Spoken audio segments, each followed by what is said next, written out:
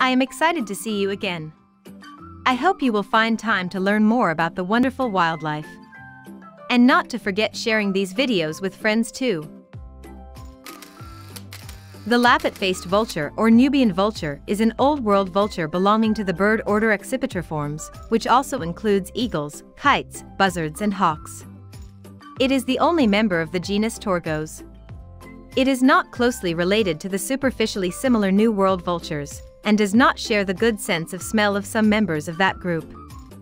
This vulture prefers to live in dry savanna, thorn bush, arid plains, deserts with scattered trees and wadis, open mountain slopes.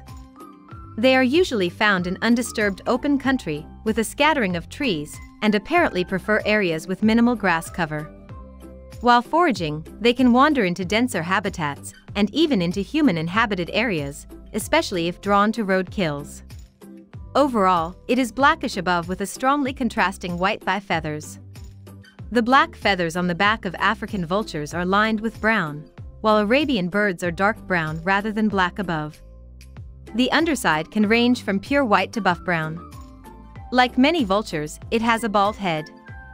The head coloration can range from reddish in southern Africa to dull pink in more northern Africa, to pink on the back of the head and gray on the front in the Arabian Peninsula.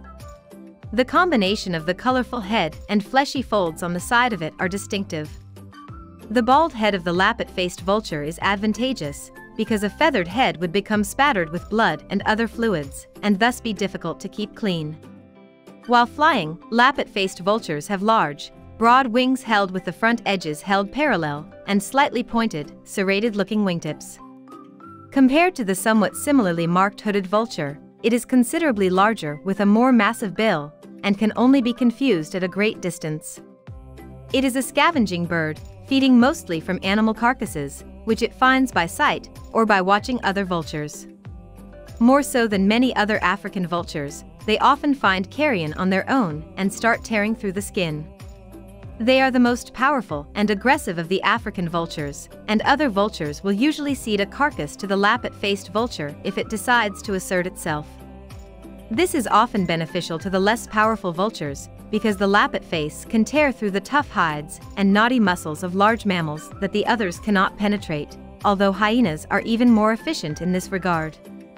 However, lappet-faced vultures frequently hang around the edges of the throngs at large carcasses, waiting until the other vultures are done, to feed on remnant skin, tendons, and other coarse tissues that the others will not eat. Big game animals, up to the size of elephants, are preferred as carrion, since they provide the most subsistence at a sitting. Wonderful. You have managed to watch till end. Please come back soon, I will wait for you. Till then, take care of yourself.